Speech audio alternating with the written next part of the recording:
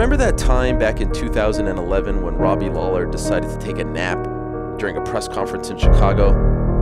Looking back now, that really was the perfect metaphor for the state of his career. The aging former champion who was just sleeping it all away. Predictably, Lawler lost two days later. He lost another one a year later, too. Few believed in him anymore. He was actually starting to become an afterthought.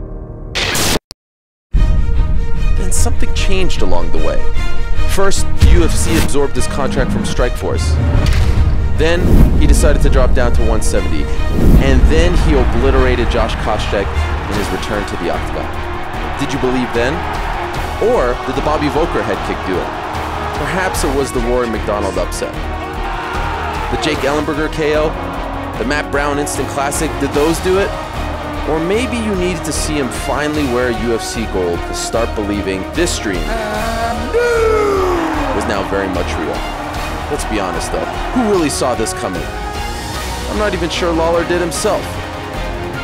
But I'll tell you what, just like that ill-timed nap perfectly defined his career back then, his Fight of the Year comeback win against MacDonald in July beautifully summed up Lawler's entire 15-year career.